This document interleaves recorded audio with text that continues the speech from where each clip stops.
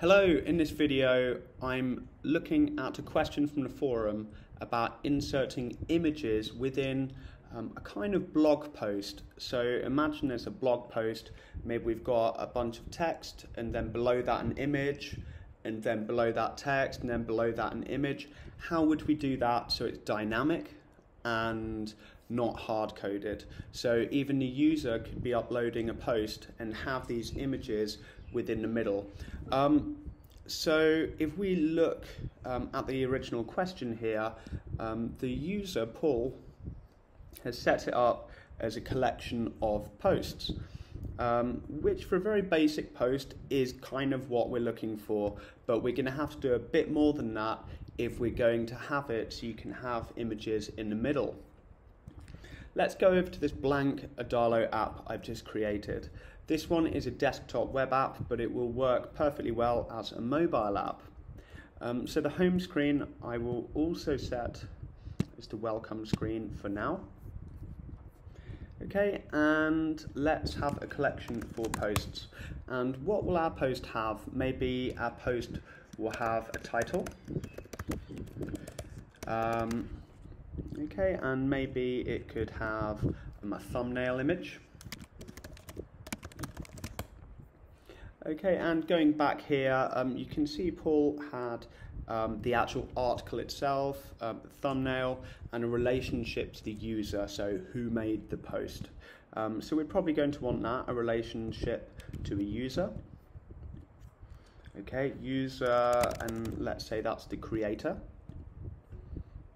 Okay, so let's always name our relationships so we can follow more easily later.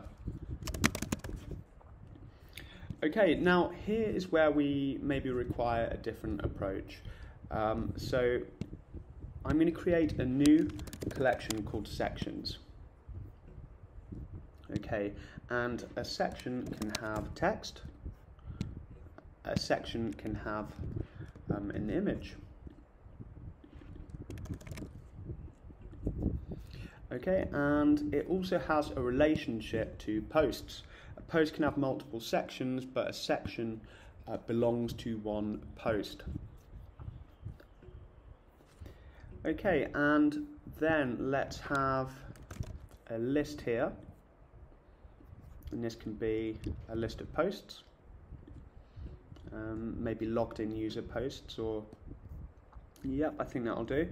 And we can just have the title of the post, and on the left section we can have the post thumbnail image.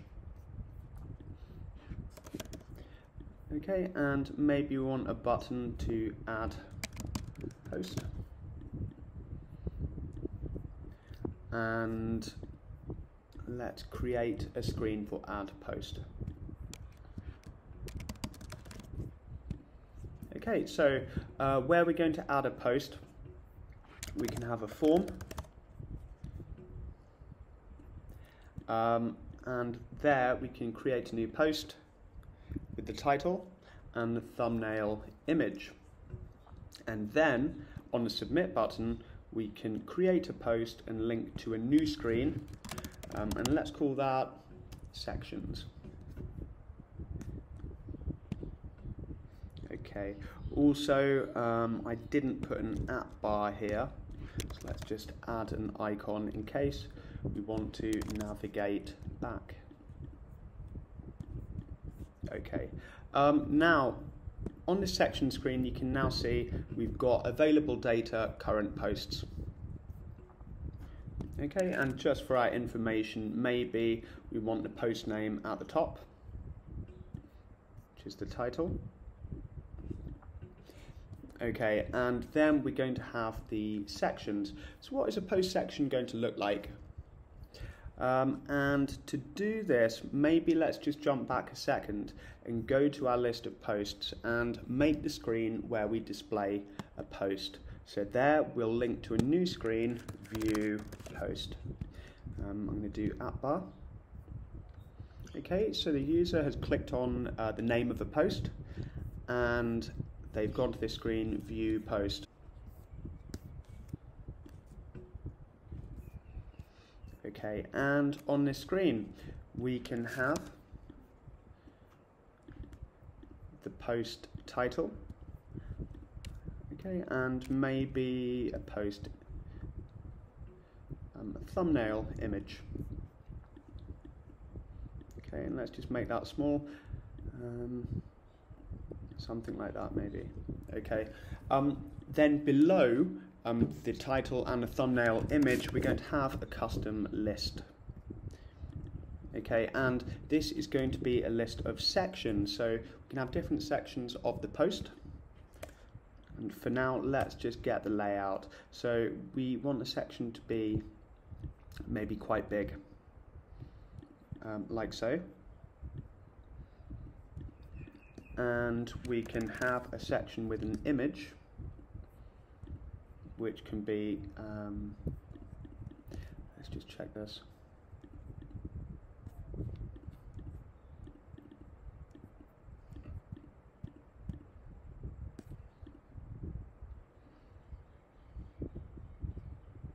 Uh, okay, so there we go. The rectangle had come out of the list there.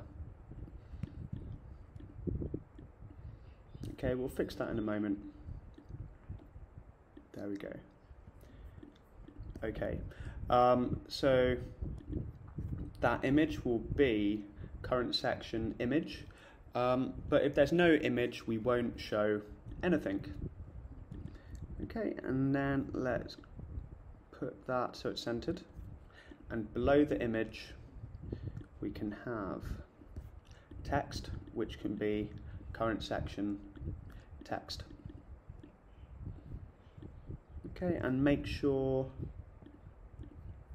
the style of it is multi-line, which it should be by default. Um, so let's see what we've got here. We've got this list of sections.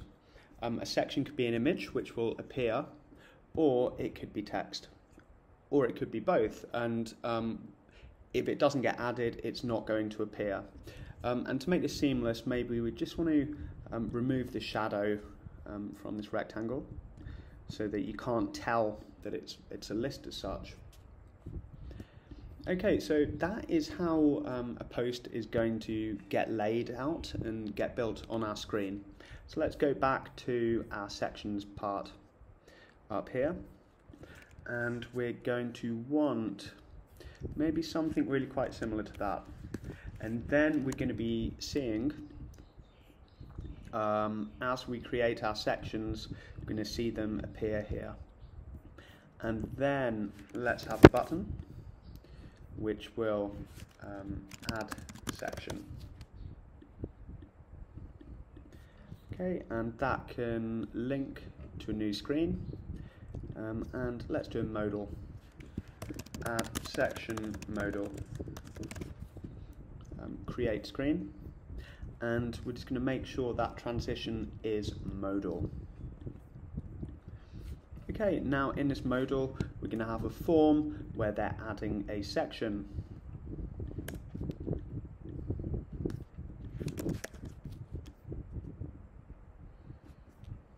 Okay, so we're going to create a section um, where they can add text or an image. Let's make sure they're not required so that they're optional.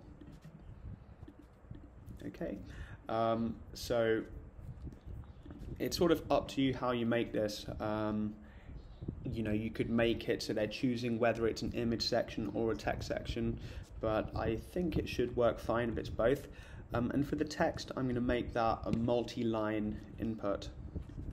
Um, and on the submit button it will create that section um, and it can link back. Okay, and just checking the automatic field, it's getting added to the current post because we have that relationship there with posts. Um, okay, and just as always, it's good to have some sort of back arrow or something to close it uh, for when you're navigating around. Okay, so there we go. We've got that section text and we've got that section image. I don't want to go into too much detail, but what we're going to see is um, you can see this list um, sorting could be from um, created, newest to oldest. So you've got to think when you're creating the blog post, um, you probably want to, um, hmm, maybe the other way around, sorry, we'll have that, um, created date, um, oldest to newest. So the first thing you add will appear at the top of the blog post and so on. Um, and then also we probably want to, so you can um, delete a section in case you make a mistake. So that can be an icon that will delete current section.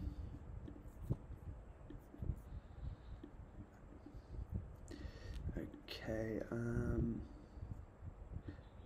right, there we go. Okay, so I think uh, we can fill in some example data and see how we go here. Um, and it's probably useful to make a user. So what I'm going to do um, is make the welcome screen the login screen and we'll sign up, make a user and add, um, try to add a post in sections. Okay, let's go. Okay, so I'm just going to make uh, an example user, hi at hi.com, and sign up to this new app. Okay, I've signed up and we're on the home screen. We've got the opportunity to make a post. Okay, new post one. And let's add a thumbnail image.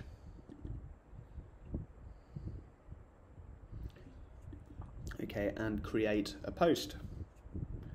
Okay, so we're now on the screen where we've got our title at the top and we can add a section to the post. So let's add a section and here I'm going to the um, a lorem ipsum generator where we can just copy and paste a load of example text.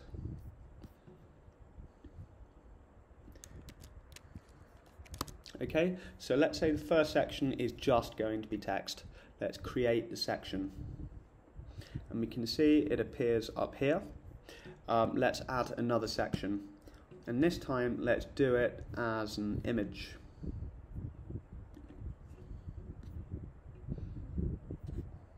Create section. Okay, and that is appearing below. Okay, and let's add another section. Let's have text and an image.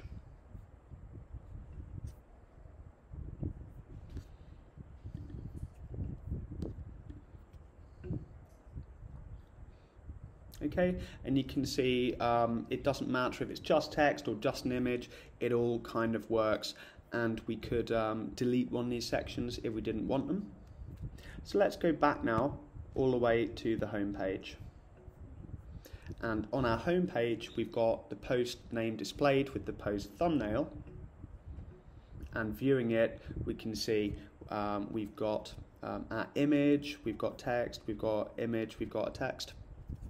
Okay, um, there is a bit of a gap here. Um, let's just work out why.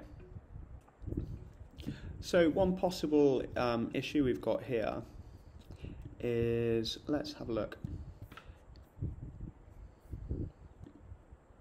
Okay, there we go. The only issue, I believe, is the sorting. So we want to make sure um, on the view post as well as on the other page, we have that created date um, oldest to newest, then that should display correctly.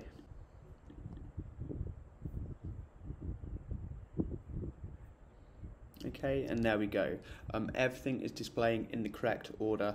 Um, so that really summarizes the answer to the question how we might uh, be making a blog post. I can see there is a bit of a gap here, um, but I don't want to make this um, much of a longer tutorial and this really sums up the basics of um, how I'd be putting that together. Okay, so um, any questions, please let me know and I'll do my best to answer.